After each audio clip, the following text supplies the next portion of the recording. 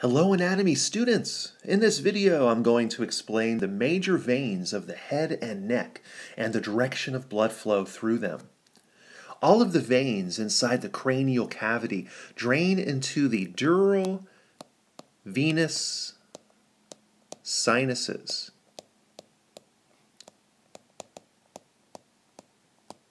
These are found between layers of cranial dura mater which is the outermost of the three meninges that cover the brain. All of these sinuses ultimately drain blood into the right and left internal jugular veins.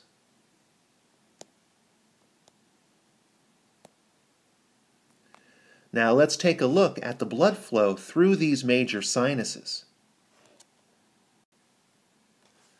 The superior sagittal sinus begins at the frontal bone and passes posteriorly to the occipital bone along the midline of the skull. It drains blood from the nasal cavity, the superior, lateral, and medial aspects of the cerebrum, the skull bones, and meninges into the right transverse sinus. The inferior sagittal sinus is a small sinus that drains blood from the medial aspects of the cerebrum and diencephalon of the brain into the straight sinus. The straight sinus runs in the tentorium cerebelli, which is a layer of the dura mater, and is formed by the union of the inferior sagittal sinus and great cerebral vein.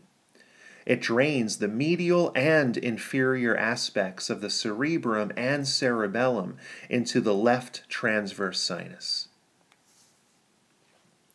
The cavernous sinuses are large diameter sinuses found on both sides of the body of the sphenoid bone.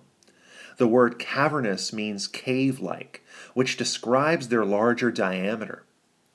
Their large size creates room for the passage of major nerves and blood vessels that supply the orbit and the face.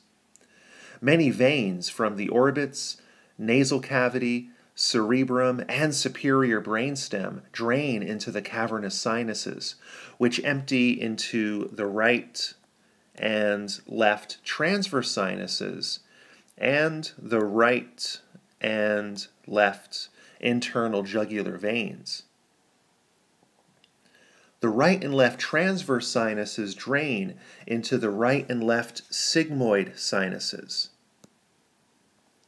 The word sigmoid means S shaped, which describes the shape of these sinuses.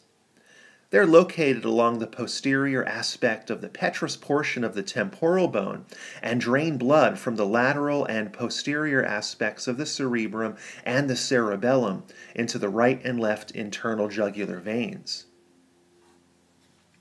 The right and left internal jugulars begin at the base of the cranium and receive blood from numerous veins and sinuses of the face and neck. They anastomose with the subclavian veins to form the brachiocephalic veins. The internal jugulars drain the brain, meninges, the bones of the cranium, and muscles and tissues of the face and neck. The right and left external jugular veins begin in the parotid salivary glands near the angle of the mandible and descend through the neck across the sternocleidomastoid muscles and then empty into the right and left subclavian veins. The external jugulars drain the scalp and skin of the head and neck, the muscles of the face and neck, the oral cavity, and pharynx. The right and left subclavian veins are deep veins located below the clavicle that are continuations of the axillary veins at the armpit. They unite with the internal jugular veins to form the brachiocephalic veins. The subclavians drain the skin, muscles, and bones of the arms, shoulders, neck, and superior thoracic wall. The right and left vertebral veins originate just below the occipital condyles and descend through the transverse foramina of C1 through C6, along with the vertebral arteries, to enter the brachiocephalic veins in the root of the neck.